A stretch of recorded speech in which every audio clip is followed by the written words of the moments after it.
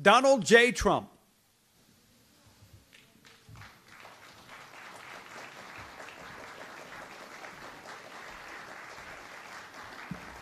Thank you. Thank you very much. Appreciate it. It's been a really great period of time. I'll be leaving now, as you know, for South Korea. Some of you will be coming with us. I understand that we may be meeting with Chairman King, Kim, and uh, we'll find out. We spoke with the people. Kim Jong Un was uh, uh, very receptive. He responded, and so we'll see. Because tomorrow we're going to the DMZ. I said, while I'm there, I'll shake his hand. We get along. There's been no nuclear tests. There's been no long range ballistic tests. Uh, gave us back our hostages, which was great, and uh, a lot of good things are happening over there. So uh, I let them know we'll be there, and we'll see. I mean, I, I, don't, I can't tell you exactly, but they did respond very favorably.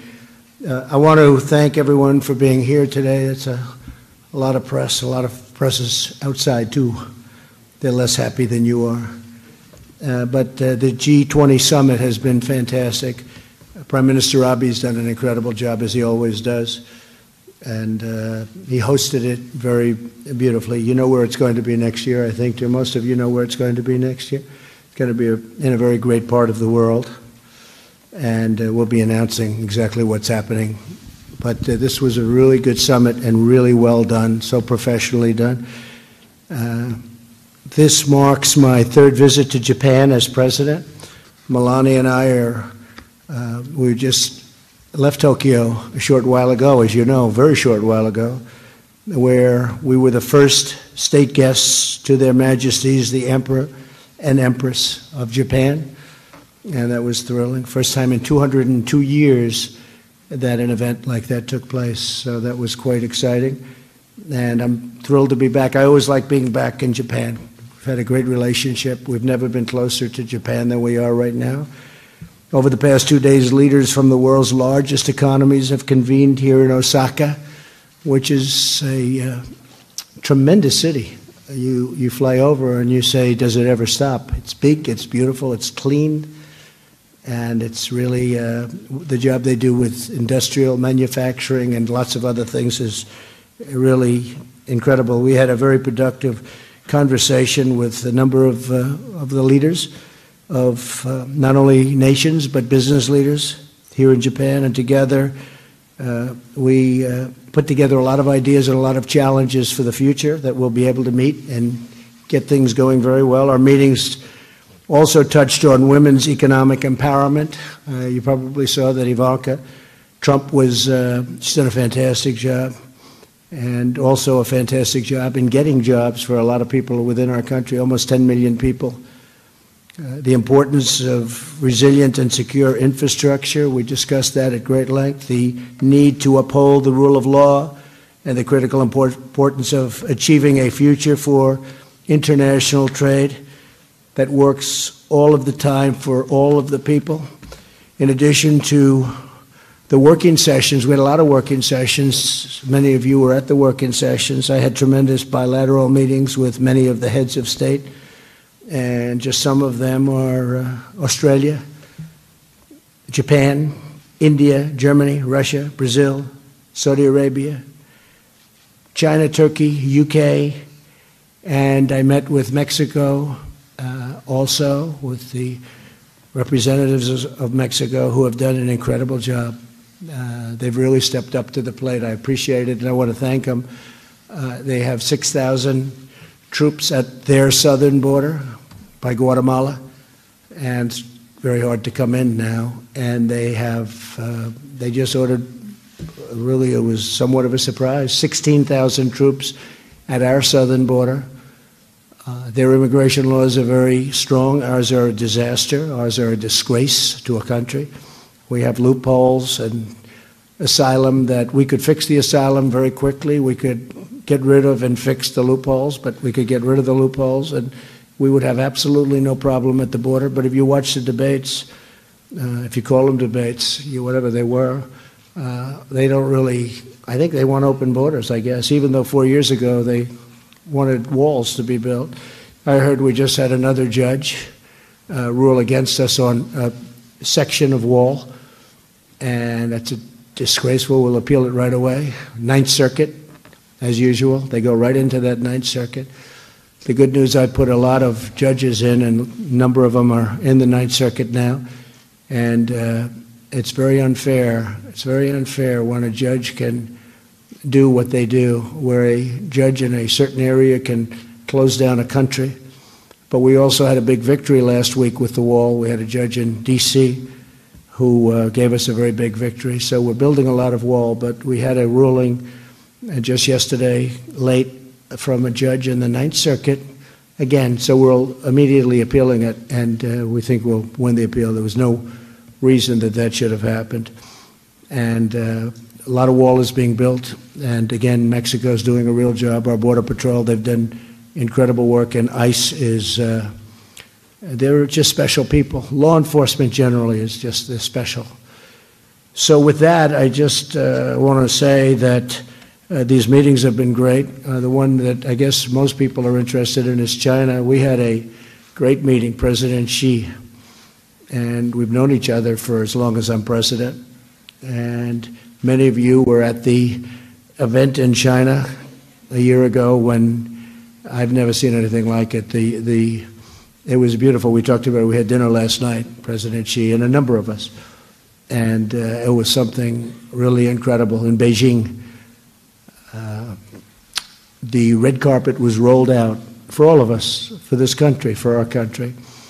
And uh, we had a great meeting. And we will be continuing to negotiate, and I promise that uh, for at least the time being, we're not going to be lifting tariffs on China. We won't be adding an additional, uh, you know, tremendous amount of. Uh, we have, I guess, 350 billion dollars left, uh, which could be taxed or could be tariffed, and we're not doing that. We're uh, we're going to work with China on where we left off to see if we can make a deal. China is going to start, uh, they're going to be consulting with us and they're going to start spending money even during the negotiation to our farmers, our great farmers in the Midwest. I call them the great patriots because that's what they are. They're patriots. And China is going to be buying a tremendous amount of uh, food and agricultural product. And they're going to start that very soon, almost immediately, we're going to give them lists of things that we'd like them to buy. Uh, our farmers are going to be a tremendous beneficiary. You know, if you look at farmers, for 15 years before I came into the into this position, uh, the farms and farmers have had a hard time. You look at that graph; it was it was down, fairly steeply down, and a lot of it was because NAFTA was a terrible deal. Now we have the I spoke with Nancy Pelosi last night about the USMCA, that's Mexico and Canada, and uh, it's now before them, and uh, they'll have to make a decision. But uh, that's one that the farmers love, the manufacturers love, the unions love. It's, uh, it's a great deal for this country. And uh, NAFTA was, I think, one of the worst trade deals ever made. Uh, maybe the WTO was worse, the WTO from the time that happened in in 95.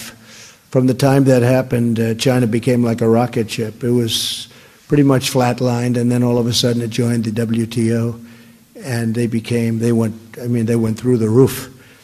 And very much to our liability, it's, uh, uh, we lost tremendous amounts of money over the, oh, from that time. I mean, we just lost tremendous amounts. It was a terrible deal, WTO, World Trade. And uh, if you look at NAFTA, NAFTA has been a disaster for our country. The uh, USMCA is a great deal for our country.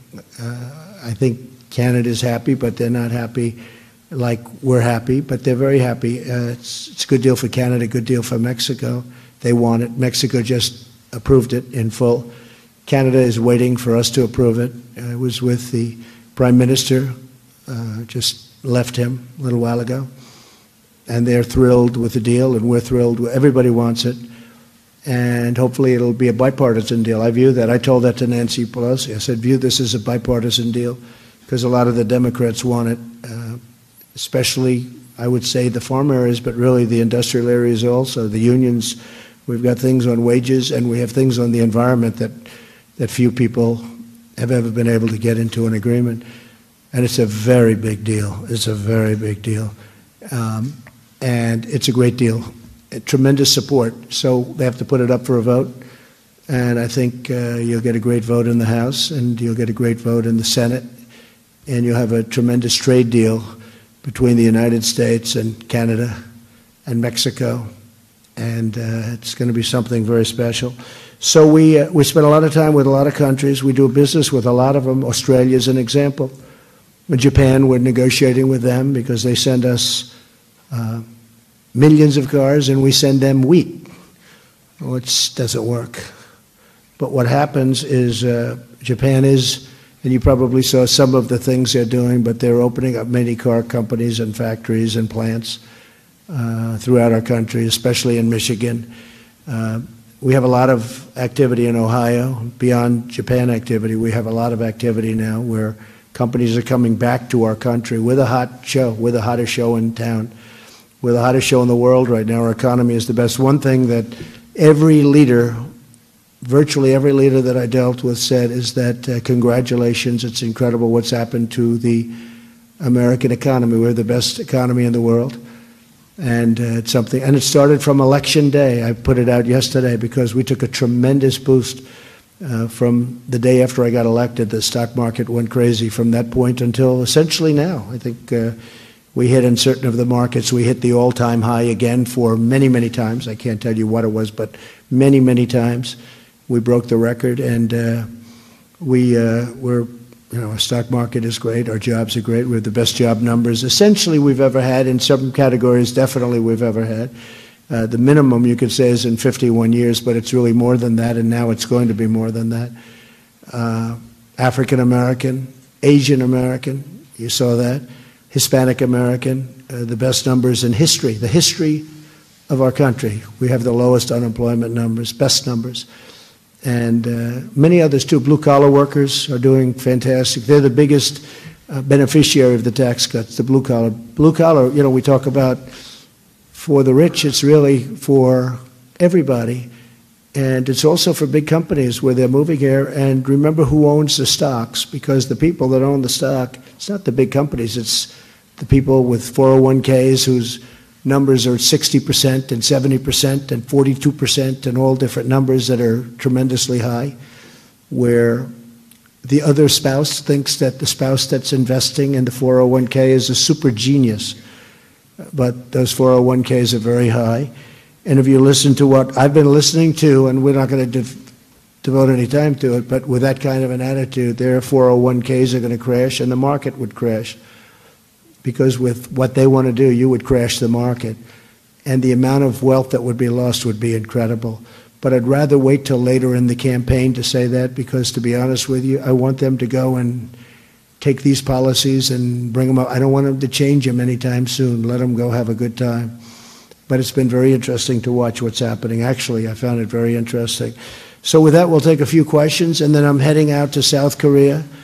And uh, I may or may not see Kim Jong un, but we'll be heading out to uh, South Korea, spend about a day and a half there with uh, President Moon, who's a really good guy. He was here too, as you know. I saw him, I met with him also.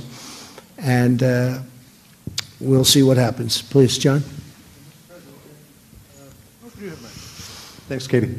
Uh, Mr. President, thanks so much uh, for joining us here. Yes. Uh, we all appreciate it. Uh, it's always good to have a chance to ask questions of you Right. directly. Can you tell us a little more about how, how this China deal may work going forward? Because Chinese officials have told Fox News that they will not make any concessions until all of the tariffs have been lifted. They also want relief on Huawei. They want to take it off the blacklist. Uh, they might want you to stop pursuing extradition of Meng Wanzhou. Can you tell us how you see all of this unfolding? And if you uh, do meet Kim Jong un at the DMZ tomorrow, would you step across the border into North Korea? Sure, I would. I would. I'd feel very comfortable doing that. I would have no problem. With respect to uh, China, uh, basically, we agreed today that we were going to continue the negotiation, which I ended a while back, and we're going to continue the negotiation. uh, we agreed that I would not be putting tariffs on the $325 billion that I would have the ability to put on if I wanted, uh, that we're, you know, we're fairly advanced, depending on where you want to look at and where you want to start, pretty advanced. Uh, We discussed, we did discuss numerous other things. We mentioned Huawei. I said, we'll have to save that till the very end. We'll have to see. Uh, One of the things I will allow, however, is, uh, a lot of people are surprised, we send and, and we sell to Huawei a tremendous amount of product that goes into the various things that they make, and I said that that's okay, that we will keep selling that product. These are American companies, John, that make product, and uh, that's very complex, by the way, uh, highly scientific, and in some cases, we're the ones that do it, and we're the only ones that do it. We're the only ones with the technology. What we've done in Silicon Valley is incredible, actually, and nobody's been able to compete with it. And I've agreed, and pretty easily, I've agreed to uh, allow them to continue to sell that product, so American companies will continue. And they were having a problem. The, the companies were not exactly happy that they couldn't sell because they had nothing to do with whatever was potentially happening with respect to Huawei. So I did do that. We talked about education and students. Somebody was saying it was harder for Chinese students to come in, and uh, that's uh, uh, that's something that if it were, if somebody viewed it that way, I don't. Uh, we want to have Chinese students come and use our great schools, our great universities. They've been great students and tremendous assets. But uh, we did discuss it. It was brought up as a point. And uh, I said that will be just like anybody else, just like any other nation. And we're actually going to a point where, you know, we're looking that if you graduate from a college, because our great companies, we talk about Silicon Valley and other places, uh, we have a problem in, this, uh, in our country that you graduate number one in your class from the best school in the country, and you, they say you have to leave. We can't keep them. And we're going to make it, uh, we're going to call it the smart person's uh, waiver, but we're going to make it so that they can not only uh, stay, but maybe they have access to green cards. We want to keep these people here. We have to keep. Yeah, go ahead, John. Are you concerned that, as they did before, China could get most of the way down the road and then say, Sure. That could happen. But uh, we're holding on tariffs, and they're going to buy farm product. So, you know, so, but that could happen, John. This doesn't mean there's going to be a deal, but they would like to make a deal, I can tell you that. And if we could make a deal, it would be a very historic event. You know, we've never really had a deal with China. Uh, we have, we've had tremendous deficits. Tremendous amounts of money was put into China, 500 billion a year. And I mean, you know, not just surplus and deficit. I'm talking about real hard cash. And it should have never, ever been allowed to have happened for all of our presidents over the last number of years. Go ahead, please. Yes, Mr. President, Steve Herman from the Voice of America. Good. After your discussions with Prime Minister Abe here, are you still thinking about withdrawing from the U.S.-Japan Security Treaty? And what did the Prime Minister say to you about No, I'm not thinking about that at all. I'm just saying that it's an unfair agreement. And I've told him that for the last six months. I said, look, uh, if somebody attacks Japan, we go after them and we are in a battle, full force and effect. We are uh, locked in a battle and, and committed to fight for Japan. If somebody should attack the United States, they don't have to do that. That's unfair. That's the kind of deals we made. That's every deal's like that. I mean, it's almost like we had people that they didn't either care or they were stupid. But that's the kind of deals we have. That's just typical. But I happened, I told them, I said, we're going to have to change it because, eh, look, I, nobody's going to attack us, I hope. But, you know, should that happen, it's far more likely that it could be the other way. But should that happen, somebody attacks us, if we're helping them, they're going to have to help us. And he knows that. And he's going to have no problem with that. Yes, please. Uh, Thank you, Mr. President. Um, I I actually have a Russia question, but I wanted to quickly clarify. Is uh, Meng Wanzhou's case also going to need to wait till the very end, or is it possible the U.S. would drop the extradition uh, effort? um, On what? On uh, what? uh, M- Ms. Meng uh, from Huawei, the top We didn't discuss executive- Ms. Meng. We did, that was not discussed. We did discuss Huawei, but we didn't discuss her situation. Okay, thank you. Um, on Russia, respectfully, it seemed like maybe you didn't really mean it uh, when you said yesterday, um, "Don't meddle in our elections, Mr. President," and then you guys Well, both started say it. laughing. You're going to have to take a look at the words. I did say it. And, uh, and we had a discussion. We had a great, actually, we had a great discussion, uh, President Putin and myself. I thought it was really a, a tremendous discussion.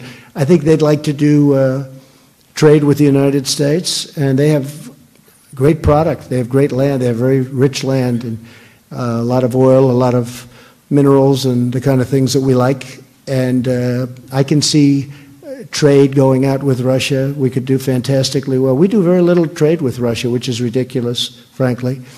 So I, I could see some very positive things happening. Yeah, but as per your question, though, I did say it, and I did discuss it a little bit after that, too. Yeah, please. But, oh, Okay. Thank you, Mr. President.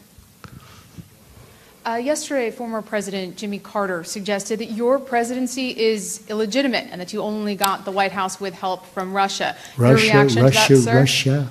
Isn't it crazy? Okay, Jimmy Carter, look, he was a nice man. He was a terrible president. He's a Democrat, and it's a typical talking point. He's loyal to the Democrats, and I guess you should be. Uh, but uh, as everybody now understands, uh, I won not because of Russia, not because of anybody but myself.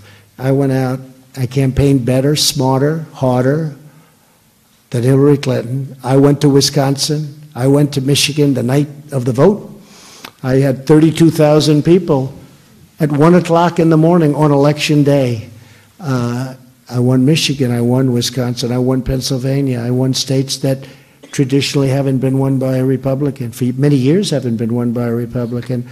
And uh, this had nothing to do with anybody but the fact that I worked harder and much smarter than Hillary Clinton did.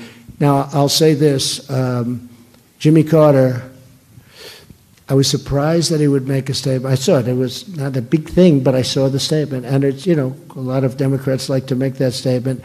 He's been trashed within his own party. He's been badly trashed. I felt badly for it because you look over the years, his party has virtually, he's like the forgotten president.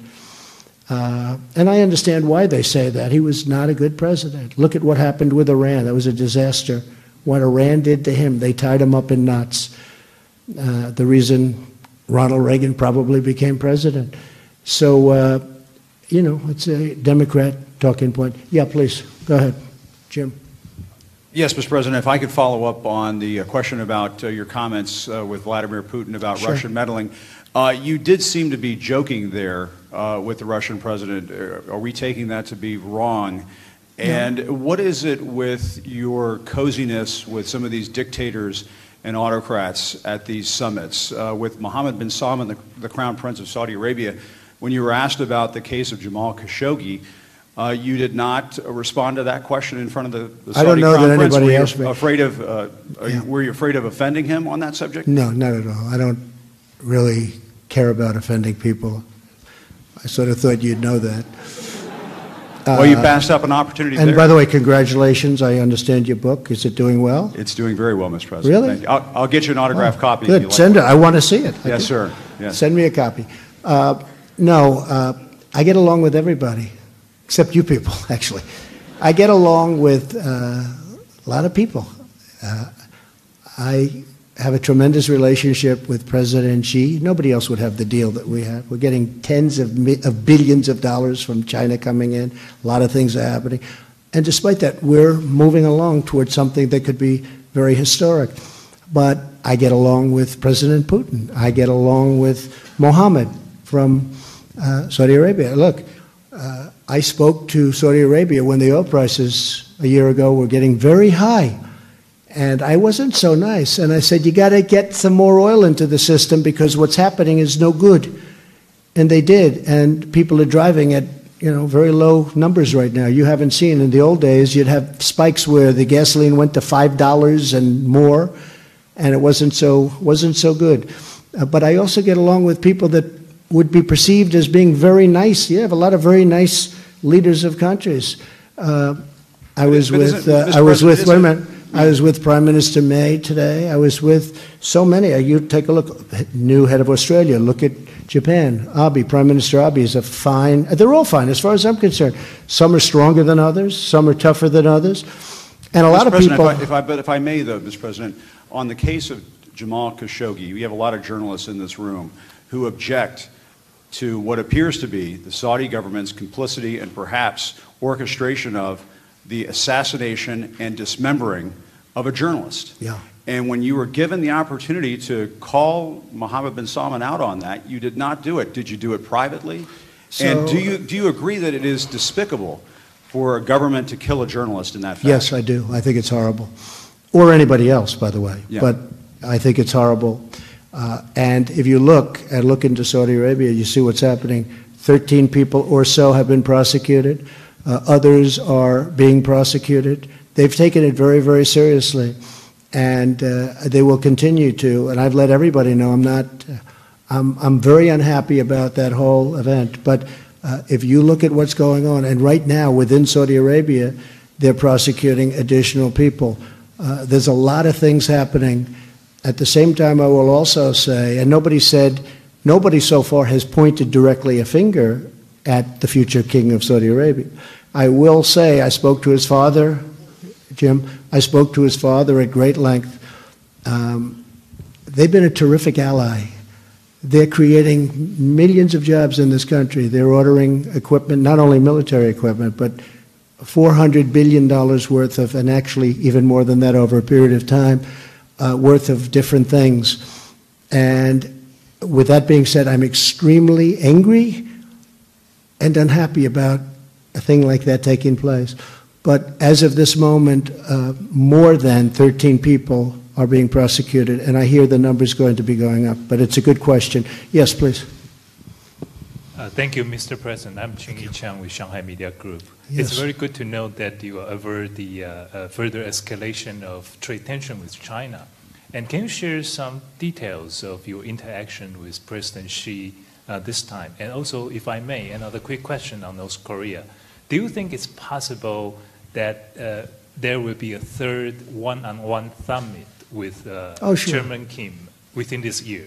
Well, it might happen tomorrow. I mean, to be honest, we won't call it a summit. We'll call it a handshake if it does happen. I don't know that it will, but it could happen. I know. I think he'd like to do it, and I wouldn't mind doing it at all. I'm going to be. I, I'm literally visiting the DMZ, and so. Uh, but I will, as per your question about President Xi, uh, he's a brilliant leader. He's a brilliant man, and you know better than I. He's probably considered to be one of the great leaders in 200 years in China.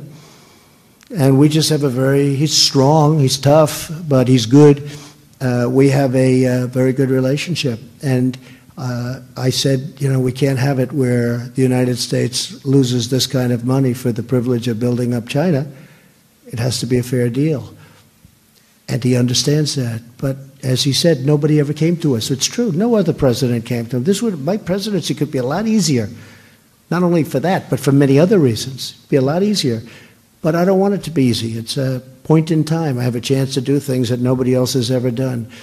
So we're making a deal with China, or we're attempting. And if we don't, we'll go back into, you know, we have a tremendous ripe field of tremendous money that would be coming into our country.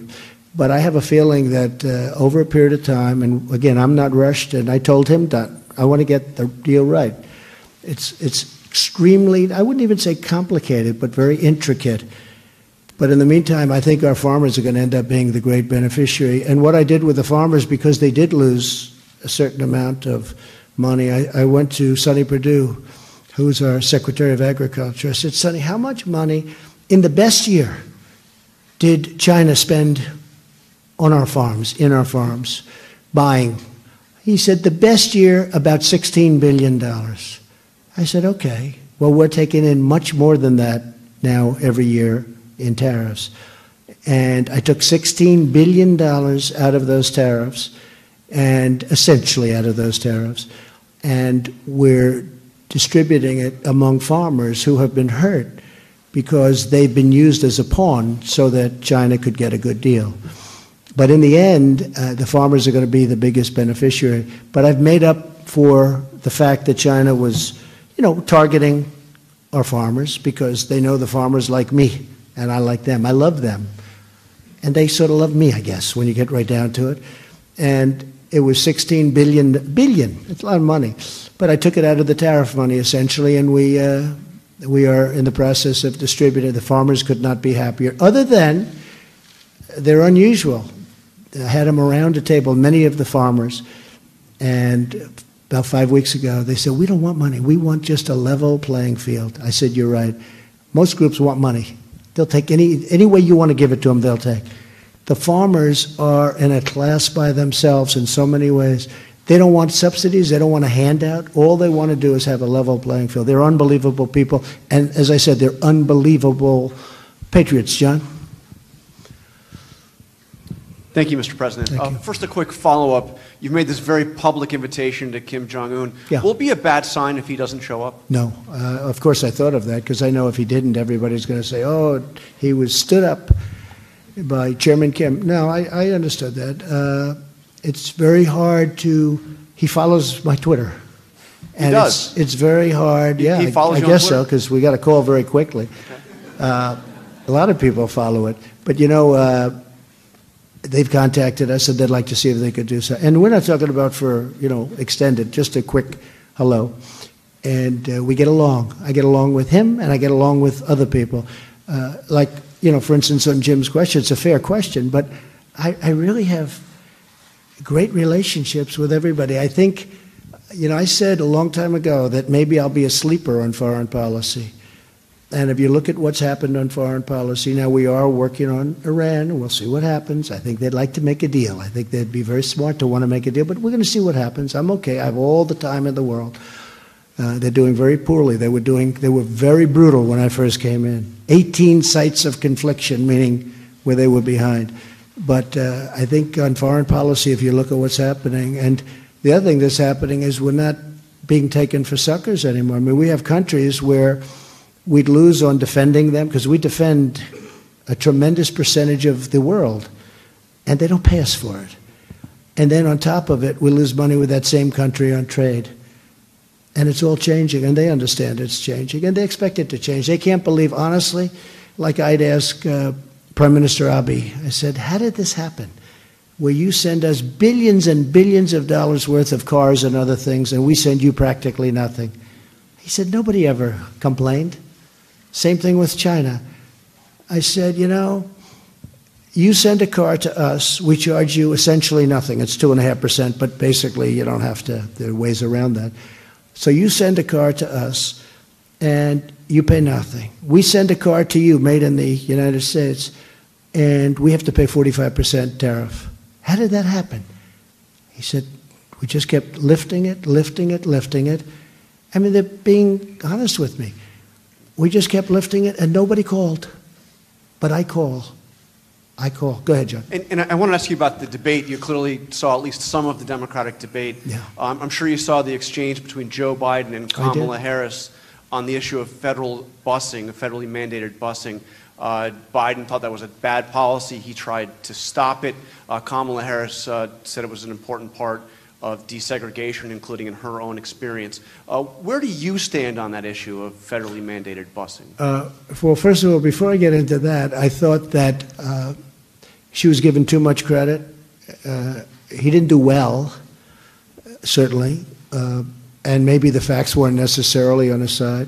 I think she was given too much credit for what she did. Wasn't that outstanding? And I think probably he was hit harder than he should have been hit. Biden. I thought he was hit actually harder. And as far as that, I will. Uh, I will tell you in about four weeks because we're coming out with certain policy that's going to be very interesting and very surprising, I think, to a lot of people. Jennifer, do you have a question? But, but, but do you think Kamala Harris would be a, a tough opponent for you, given what you saw in that debate? Uh, you never know who's going to be tough. You never know. One that you think is going to be tough turns out to be not much. And sometimes you think one, and I've seen it because look, I had 17. We had actually a total of 18. Uh, a lot of people think 17. Governor of Virginia, remember? Ed, Ed, the governor of Virginia, wasn't there long, previous governor. But um, of the 18, you know, many were uh, all their lives they wanted to be politicians. I never thought about being a politician until about two days before I decided to run. uh, a little before that, but not too much before. And they, uh, you know, you, you looked at some of them, they're very talented. You look at their resumes, it's like, great. And sometimes the ones that I thought would be the toughest were not the toughest at all. I mean, I could write a book. I should write a book. But uh, some of the people that I did in the Republican, because we had sort of a similar thing. We had 18 instead of, I guess they have 24, 25.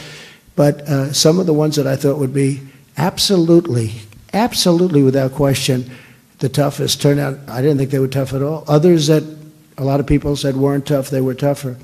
I think she was given far too much credit for what she did. That was so out of the can, what she said, and that thing was right out of a box. And I thought that he, uh, Jennifer, go ahead.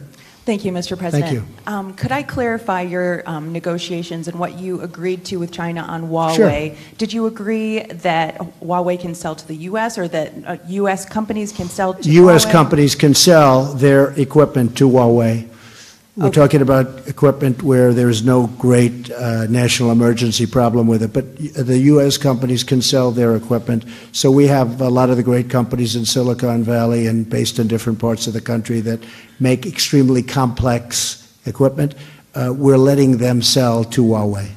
And then on Turkey, sir, um, will Turkey face sanctions if it goes ahead with the S-400 purchases? Okay, so Turkey is an interesting case because there's another one, Jim, that I get along with very well, and he's a tough cookie, okay? Uh, right? President Erdogan. Uh, he's tough, but I get along with him. And uh, maybe that's a bad thing, but I think it's a really good thing because, frankly, uh, he wanted to wipe out, he, he has a big problem with the Kurds, as everyone knows, and he had a 65,000 man army at the border, and he was going to wipe out the Kurds who helped us with ISIS. We took out the caliphate. We have 100% of the caliphate. And I called him and I asked him not to do it. They are, I guess, natural enemies of his or Turkey's. And he hasn't done it. They, had, they, were, they were lined up to go out and wipe out the people that we just defeated the ISIS caliphate with. And I said, You can't do that. You can't do it. And he didn't do it. So I have a relationship. But let me tell you so he goes out during the Obama administration, he wants to buy our Patriot missile. Right? They wouldn't sell it to him. He wants to buy, even though he's a member of NATO, and in theory he could be an ally if he respected the president. He and he's got a big army, and he's you know they're fighters. Turkey's big fighters, and we're working on Idlib province together because he doesn't want to see three million people killed, and neither do I in Syria. But and I mentioned that that was another thing I mentioned, uh, folks, to President Putin. I said, please take it easy with Idlib, because you know they've been encircling that. I think if I didn't put out a statement six months ago, that would have been uh, catastrophic. But there you have 30,000 uh, terrorists in Idlib province. You have three million people, and uh, you know getting terrorists is okay, but you don't want to kill three million people or a million people to get the terrorists. So anyway, so we get along great, but what happened with uh, Turkey, and I will tell you when it's fair, when it's not fair, he wanted to buy the Patriot missile. President Obama's group said no. He kept wanting to buy it. They kept saying no, no, no. Couldn't buy it. Now he needed it for defense. He needed. So he then went to Russia, and he bought the S400, made a deal to buy it because he couldn't get it. They wouldn't allow him to buy it. They wouldn't allow it. This administration, meaning this administration previous to mine, would not let him buy it. So he goes out, he goes to Russia, and he makes a deal for the S400. And let's assume it's not nearly as good. But he made a deal. He paid him money, a lot of money, put up a lot of money, and he bought it. As soon as he bought it, people went back to him from our country and they said, listen, we don't want you to use that system because it's not the NATO system, et cetera, et cetera. You know all the reasons. We don't want you to use that system. Do us a favor. We'll sell you the Patriot. He said, It's too late. I already bought it. There was nothing he could do. He already bought it. In the meantime, he bought over 100 F 35s, the greatest fighter jet in the world. It's stealth. You can't see it. It's real hard to beat something when you can't see it. But he bought over 100. I think he bought 116, but he bought over 100, a lot. And he has options for more. And now he wants delivery. He's paid a tremendous amount of money up front to Lockheed, our company, our jobs, everything. And now they're saying he's using the S400 system, which isn't compatible with our system. And if you use the S400 system, uh, Russia and other people can gain access into the genius of the F 35. But honestly, I'm all for our country, but he got treated very unfairly. He was told, you can't buy it, you can't buy it. You know, it's the old secret when you can't have something. All of a sudden, he ends up going getting something else, and then they were, they said, first they said, we'll sell it to you, you can have it in four years. Then they said, we'll get it to you immediately. But he said, I, I can't do it. I bought, I've spent a fortune on buying another system, similar system, from Russia. The problem is he already bought the planes, and the planes aren't compatible from our standpoint, not from the standpoint of compatibility, but from our standpoint, national security wise. So it's a mess. It's a mess. And honestly, it's not really Erdogan's fault. So now we have breaking news. Donald Trump loves Turkey. So he loves Turkey. Donald Trump like is on the side of Turkey instead of the United. No, I'm not. You don't I like love wanna our country, but I have to tell you, President Erdogan, uh, who has done, he gave me our pastor back, Pastor Brunson.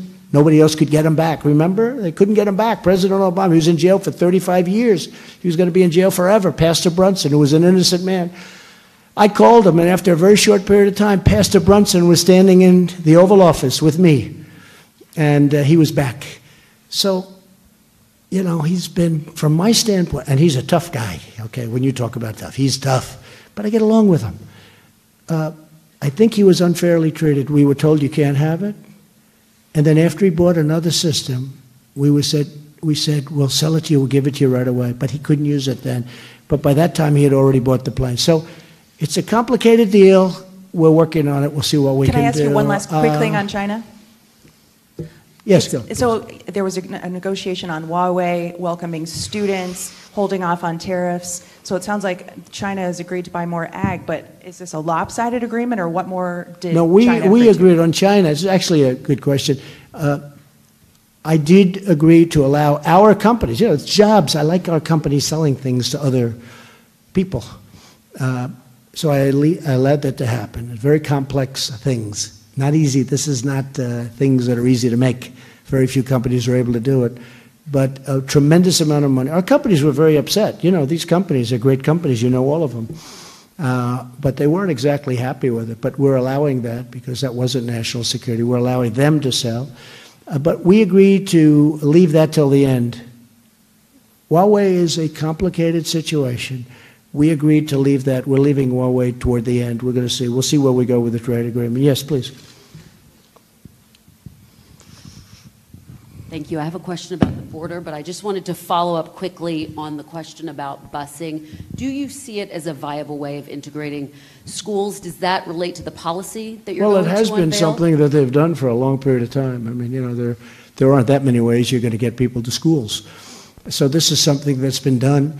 In some cases, it's been done with a uh, hammer instead of a velvet glove, and, you know, that's part of it. But this has been certainly a thing that's been used over the, I think if, if uh, Vice President Biden had answered the question somewhat differently, it would have been a lot, it would have been a different result, because they really did uh, hit him hard on that one. So, uh, but it is certainly a, a primary method of getting people to schools. And is it, does it relate to the policy that you're going to unveil that you just floated? It relates to everything we're doing, uh, and you'll be hearing about it in, over the next couple of months. Over the next couple of Okay. months? Okay. And I want to ask you about the border. It seems like there's officially a week to go until the ICE raids begin under that deadline that you imposed. Yeah. Given that you have a July 4th recess, is it realistic to think that you're going to get a deal to actually reform the asylum laws? No, because we could do it in, we could do it, you know, I say to people, I used to say 45 minutes, I say 15, but we could do it quickly. We could do it in a day, we could do it in an hour. Uh, We could reform asylum very quickly. We could get rid of the loopholes very quickly. These are horrible loopholes. And the reason that Mexico is so good, because they do have very, very tough immigration. They don't have uh, the kind of things and the kind of stupidity that we have.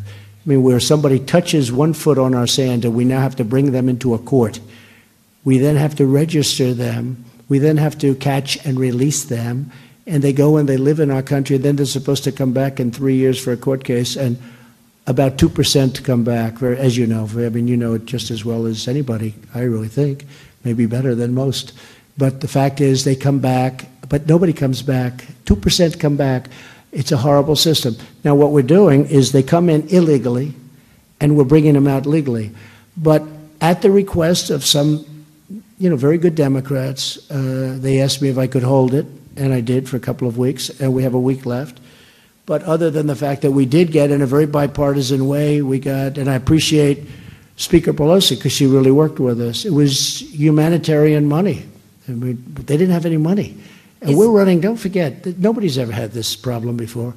We're running hospitals. We're running so many different things for, for the kids. And the kids are brought up because under the laws, the kids are used, legally used, to get other people to come in. If you have a child, it's much easier to come into our country. It's easy anyway, but if you have a child, it's much easier.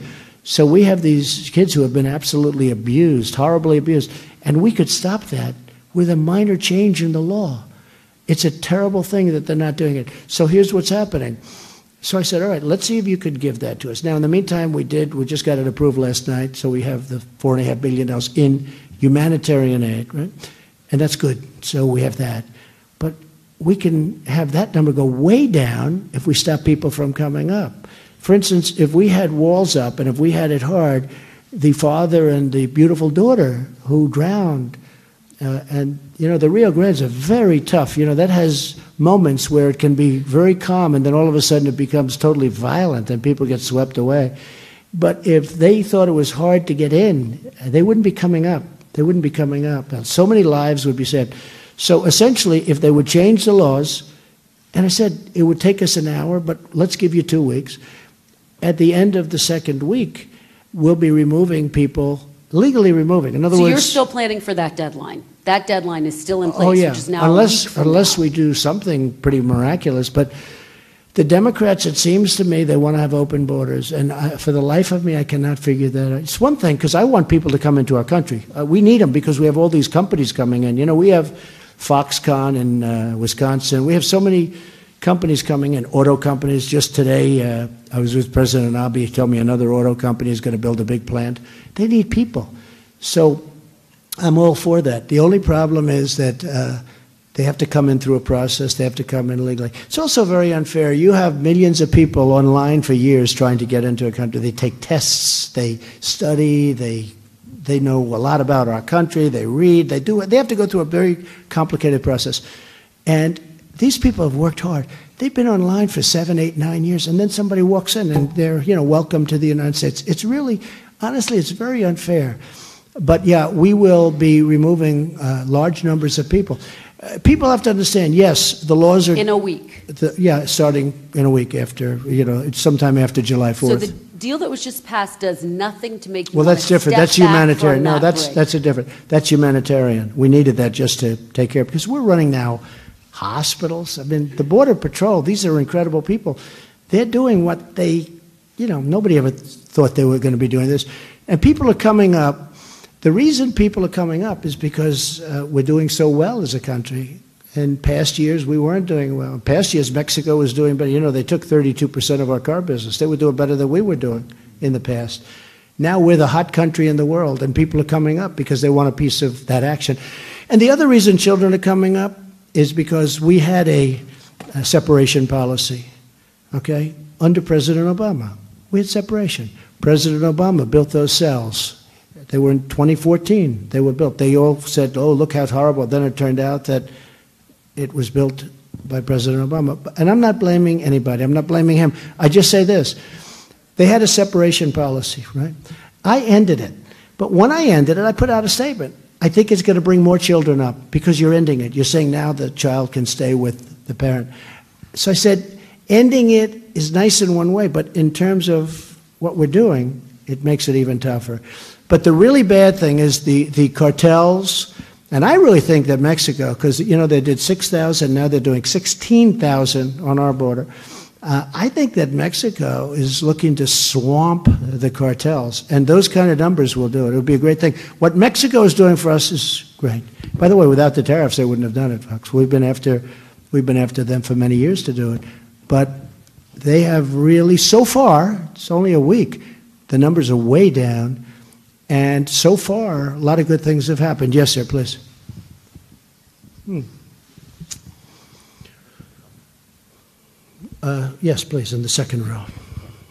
Thank you, Mr. President. Um, Two questions about Would you like me to leave now, or, here's the thing, I can stay, we can do this for a long more. time. My, my only problem is this, I don't need stories, he stayed up there too long.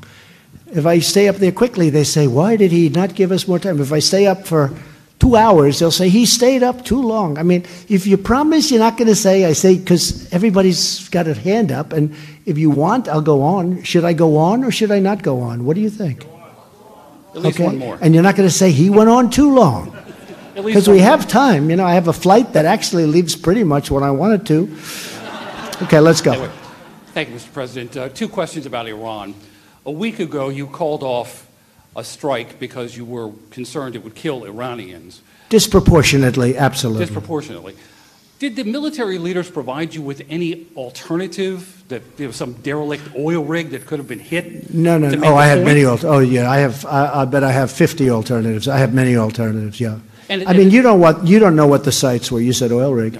You don't know what the sites were. But, but I had many alternatives. No, the military leaders did a great job.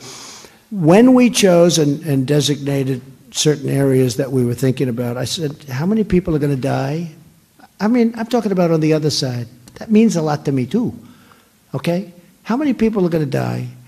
They said probably about 150. You don't know. Could be much worse than that. Could be less, too, I guess. But it could be much more than that because this is heavy stuff going in.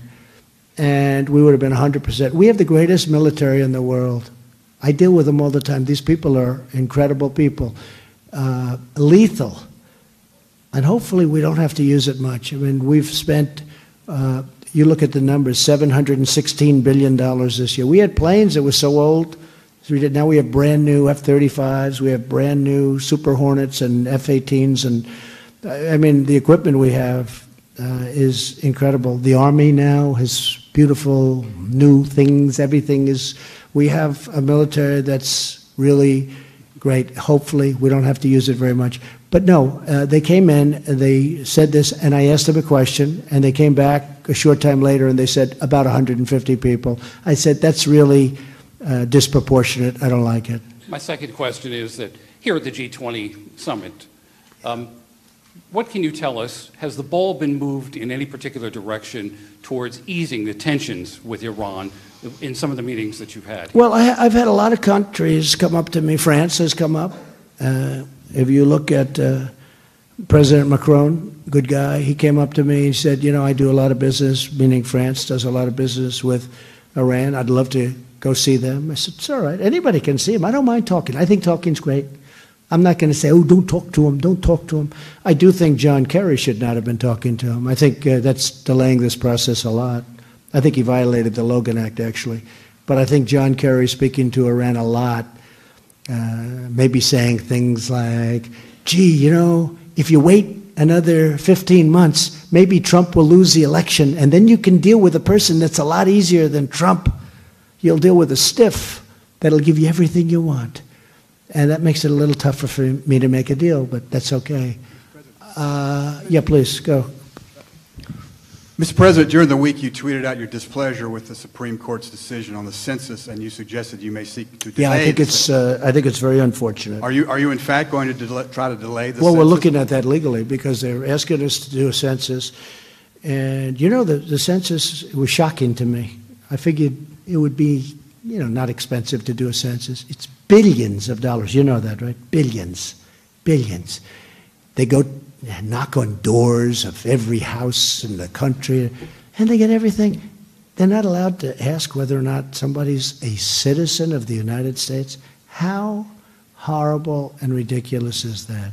So uh, we are looking at that, yeah, Do you- sure. do you know because it wasn't it do wasn't a real decision that boom, this is the way it is. It was like now, right now.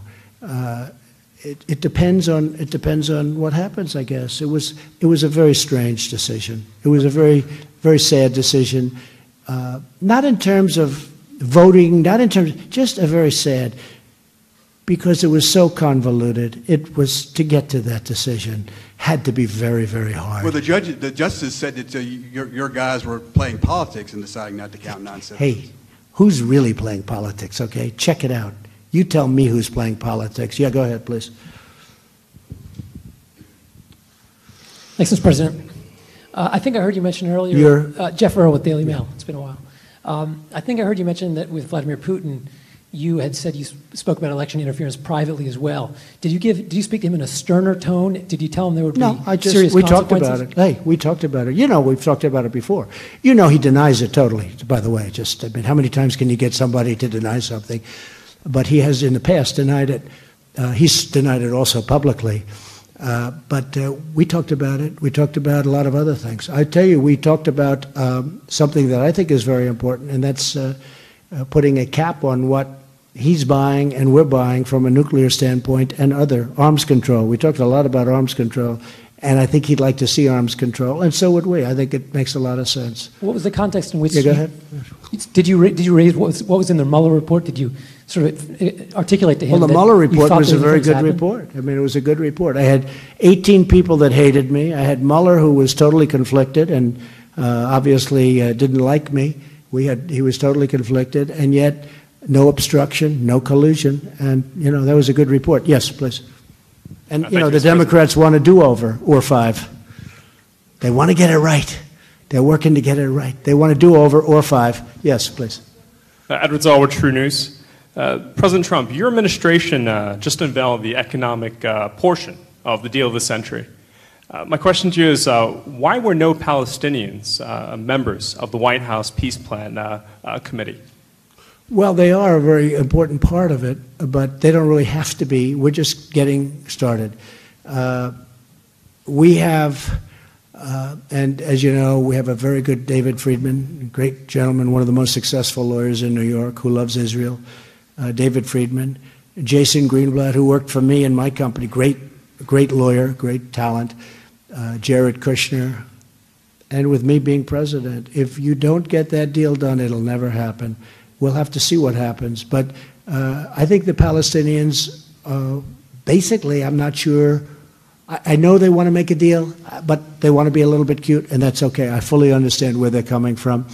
Uh, as you know, I've ended the money to uh, that was we were paying them 550 million dollars a year, and I ended that money because a year ago, I heard they were saying nasty things. I said, wait a minute, uh, we're trying to make a deal, we're trying to help them, and they're saying these nasty things, we're not going to pay. Now, if, if a deal is made, we would go back on a humanitarian basis, not so different from the border, because you see the problems and what's going on. It's terrible.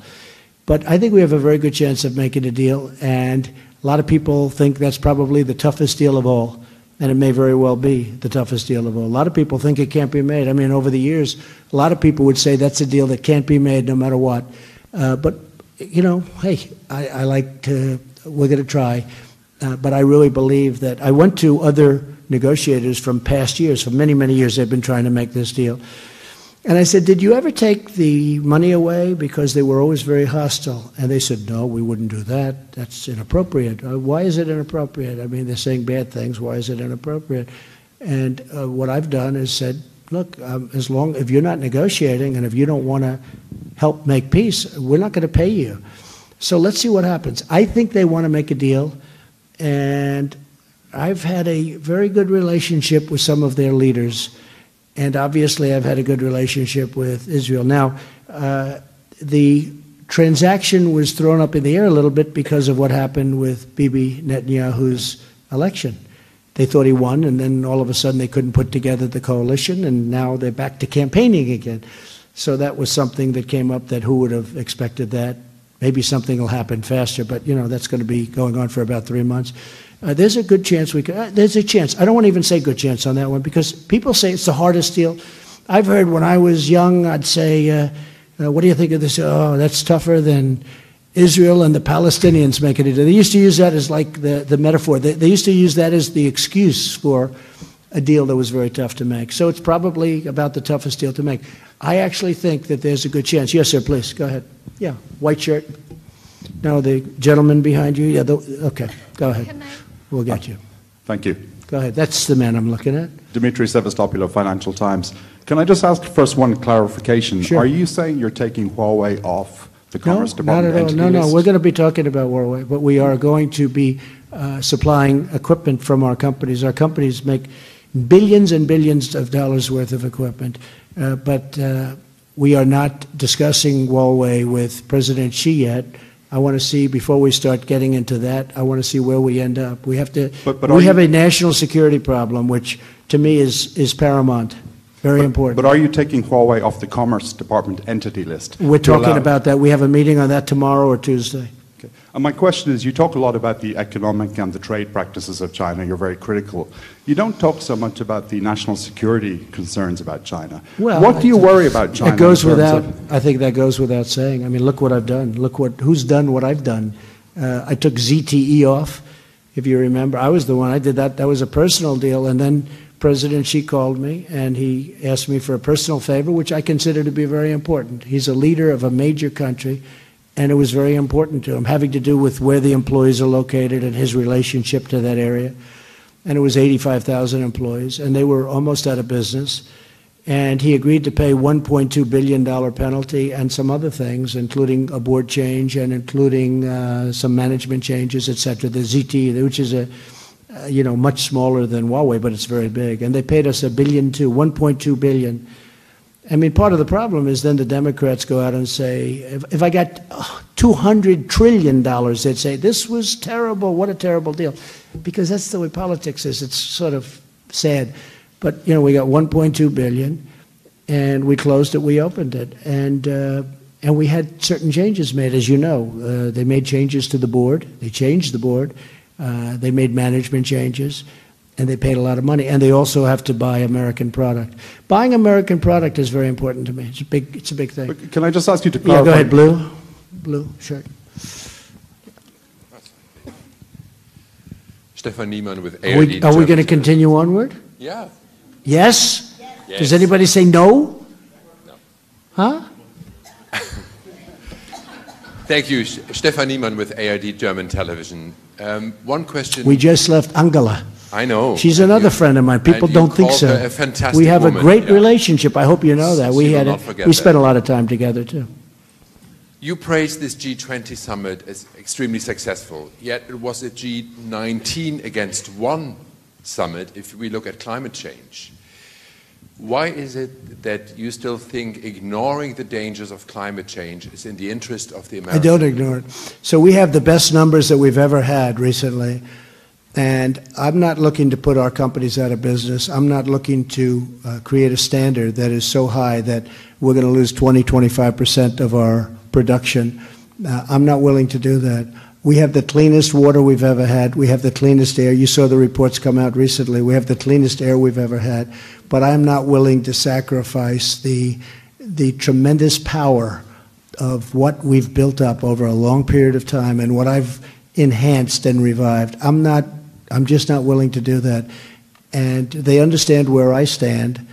And, you know, I'm not necessarily sure I agree. I can tell you I'm not sure that I agree with certain countries what they're doing because I think they're losing a lot of the power of what they can do with factories and with, and I'm not talking about political power, although that comes with it.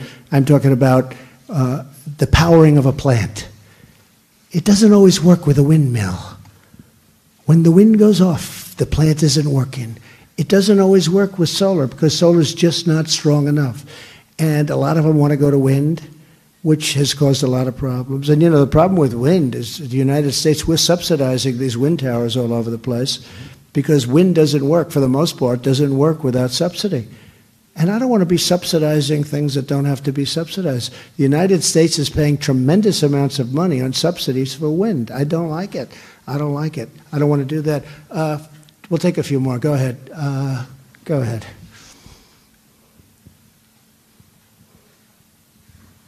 Thank you, sir. Uh, two questions on Iran, please. One. One question on Iran. Okay. Well, Iran. Pick the better one, please. Will do, sir. Uh, Iran says that it will be on the verge of violating the threshold for uranium enrichment in the GCP, JCPOA uh, as soon as potentially next week. What will be your response when that happens? You'll see. Okay. Can I have a follow up? That's all I can do. That's all I can do. No, But that's, that's all I can do. Uh, I can only say you'll see. Uh, We cannot let Iran have a nuclear weapon. Just can't do it. Please. Thank you, Mr. President. Celia Mendoza from VOA Latin America. You met yesterday with President Putin, and, and the readout says that you touched the subject of Venezuela. Yeah. Can you expand a little bit of what was said during the meeting about Venezuela? And also, um, Well, first of all, we're following Venezuela very closely. It's a catastrophe.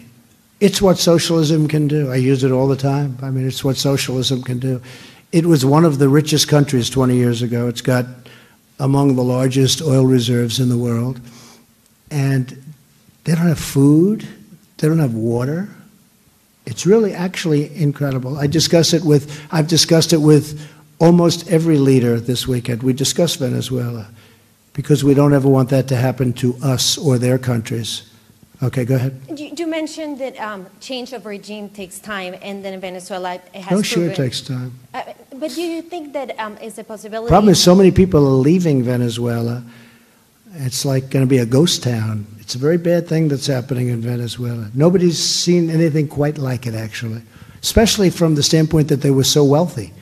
Uh, they've gone. I know so many people from Venezuela living in Miami. They're incredible people. They're incredible, incredible. A lot of them live in Doral, Miami. It's uh, they call it Little Venezuela. I know them so well. These are people that are hard workers, warm. Just- They're just incredible. And to see what's happening to Venezuela is heartbreaking. It's really heartbreaking. President, do you think that it is a time for change the strategy? And do you still bel- believe that Juan Guaido is the person to lead the country? You have back him out. Sure. You have a lot of strategies. I have five different strategies. I could change any moment. But in the meantime, uh, we're helping them from the standpoint of aid. We're getting as much aid as we can.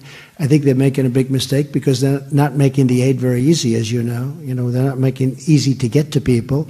But people are starving to death, and their their water, they have no water. They have no water.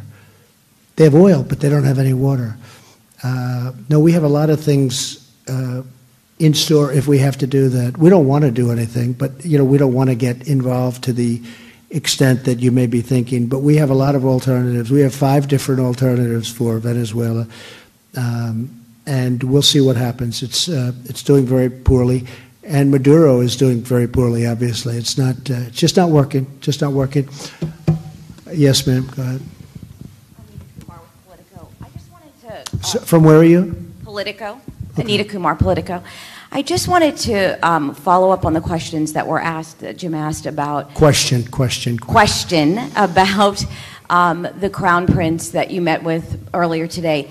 I didn't hear you answer the question. Did you raise the killing of Jamal Khashoggi with him, and what I, was the I response? Asked, yes, I asked him what was happening, and he was telling me that I think he said 13, but it could be more, and I think he said more in the works. Uh, that there are large numbers of people being prosecuted. He's very angry about it. He's very unhappy about it. And I did mention it to him very strongly, and he answered very strongly. But uh, they're prosecuting large numbers of people. Uh, that was a bad event.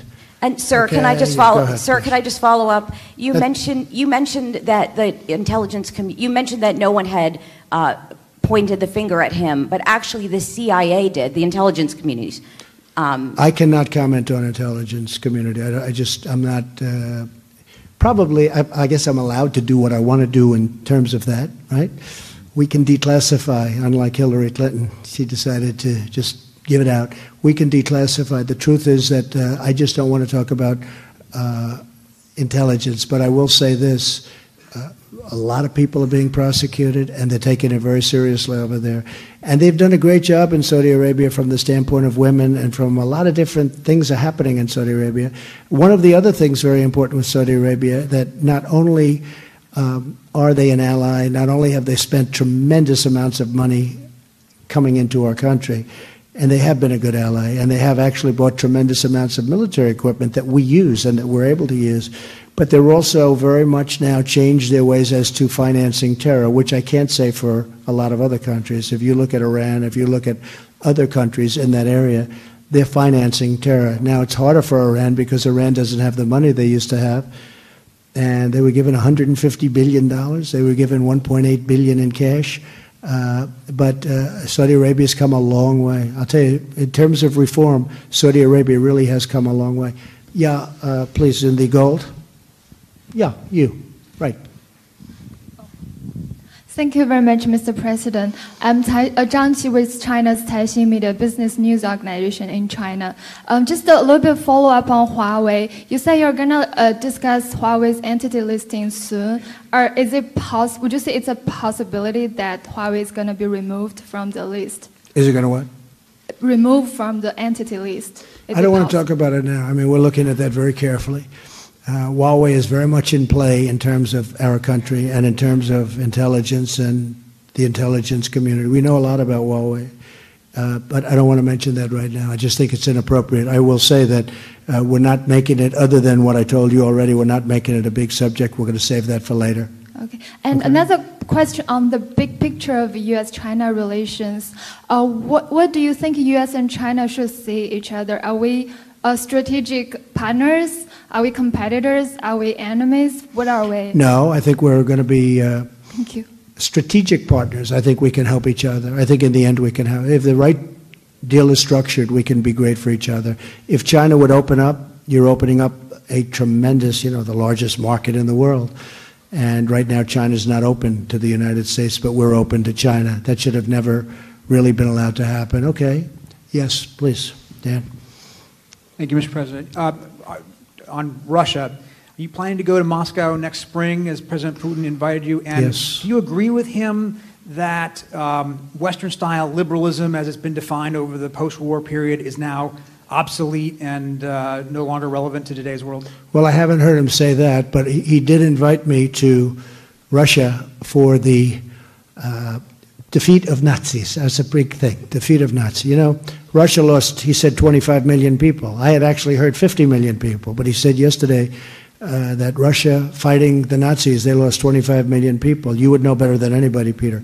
Uh, but uh, it was a tremendous, you know, they suffered greatly. And they're having a uh, 75th uh, you could really say celebration of the defeat of the Nazis. Uh, and he invited me, and I said I would give it very serious consideration. That was a, uh, Russia went through a lot. They lost, uh, I guess, far more than anybody fighting the Nazis in terms of people. And uh, he did invite me, and I said we would uh, get back, but we will give that very serious consideration. His, his, okay? com- his Thank you, comments Peter. to the Financial Times right before arriving here was that Western style liberalism is obsolete. I know you, you, you probably haven't read the interview. Well, but do you again, he may feel true? that way. I mean, he sees what's going on, and uh, I guess if you look at what's happening in Los Angeles, where uh, it's so sad to look, and what's happening in San Francisco and a couple of other cities, which are uh, run uh, by a, an extraordinary uh, group of liberal people. I don't know what they're thinking, but he does see things that are happening in the United States that uh, would would probably preclude him from saying how wonderful it is. At the same time, he congratulated me as every other every other leader of every country did for what we've done economically because we probably have the strongest economy we've ever had, and that's a real positive. But uh, I'm very embarrassed by what I see in some of our cities where the politicians are either afraid to do something about it or they think it's votes or I don't know what, Peter, I don't know what they're thinking. But when you look at Los Angeles, uh, when you look at San Francisco, when you look at some of the other cities, and not a lot, not a lot, but you don't want it to spread. And uh, at a certain point, I think the federal government maybe has to get involved. We can't let that continue to happen to our cities. Uh, ladies and gentlemen, thank you very much. I'll see some of you in South Korea, maybe at the DMZ, but this has been an honor. Thank you all very much. Thank you.